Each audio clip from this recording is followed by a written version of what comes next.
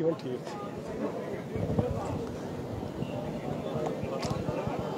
जम्मू कश्मीर अपनी पार्टी की तरफ़ से आज जो है बटगुंड त्राल में एक सियासी जलसा मुनद होने वाला है और आप लाइव तस्वीर में अर्ली टाइम्स आपको दिखा रहा है कि किस तरह से लोग जोग दर जोग जो है वो जमा हो रहे हैं और आप देख सकते हो जोग दर जोग जो है वो लोग जमा हो रहे हैं। हालाँकि पहले प्रोग्राम के बारे में ये बताया गया था, बारिश थी तो ये पता नहीं था कि प्रोग्राम हो जाएगा। और अभी कुछ देर के बाद जो है, अपनी पार्टी के जो चीफ है, प्रेसिडेंट है, सईद अल्ताफ बुखारी बटगुंड जो कि एक दूर दराज इलाका है, जिला पुलवामा का, यानी सब डिस्ट्रिक्ट त्राल का, यहाँ पे पहुँच रहे हैं। उनके हमरा कुछ सीनियर लीडर्स भी होंगे।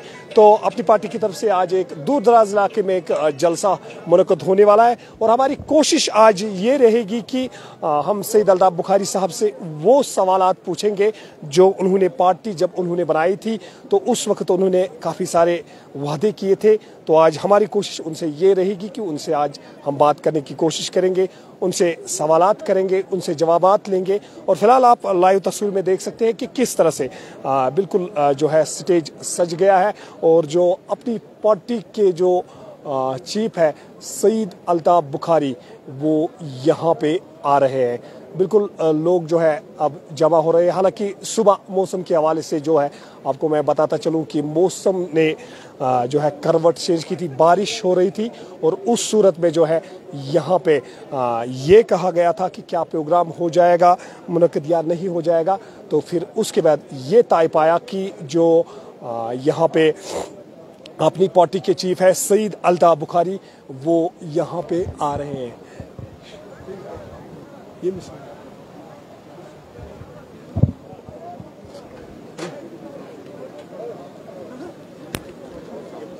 वली वली वली वतन सर।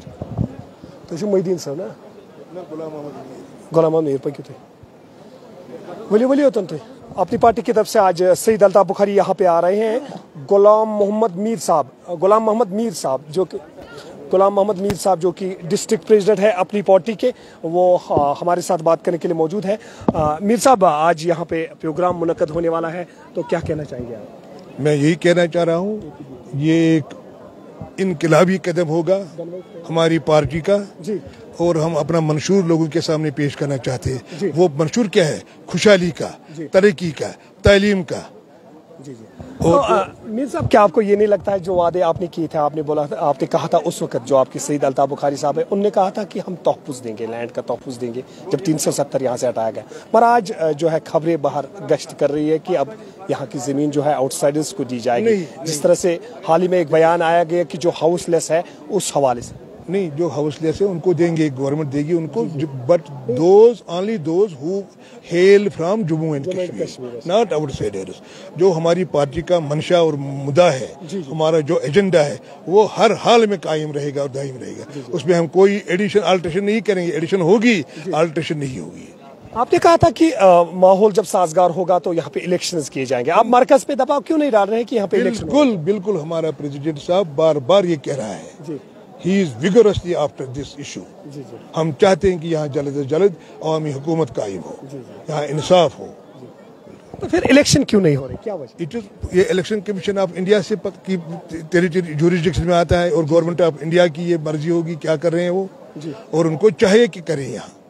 अगर उनमें कोई सेनेस जमहूरियत का प्रिवेल करता है तो उनको चाहे यहाँ इलेक्शन करें। मीर साहब खबरें गश्त कर रही है कि आने वाले दिनों में अपनी पार्टी में सुपलिट होगा। बहुत सारे लीडर्स निकल जाएँगे। क्या लगता है? बिल्कुल नहीं। बिल्कुल नहीं। तो आपके जो डिस्ट्रिक्ट यूथ प्रेसिडेंट है अनंतनाग के अनीसुल इस्लाम साहब आपकी पार्टी से चले। गए in fact he was removed remove ये क्या आपने उसको एक्सपेल किया था? हमारी पार्टी के वहाँ पर किया था एक्सपेल जो डिसिप्लिनरी कमेटी बैठी थी उन्होंने रिकमेंड किया था उसको।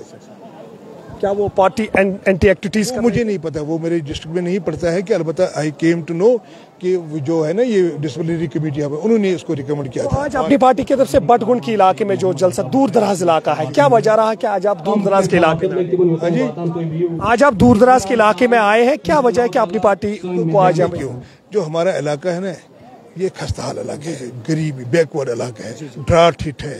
इट हैज़ ये मिलिटेंसी हिट भी रहा है।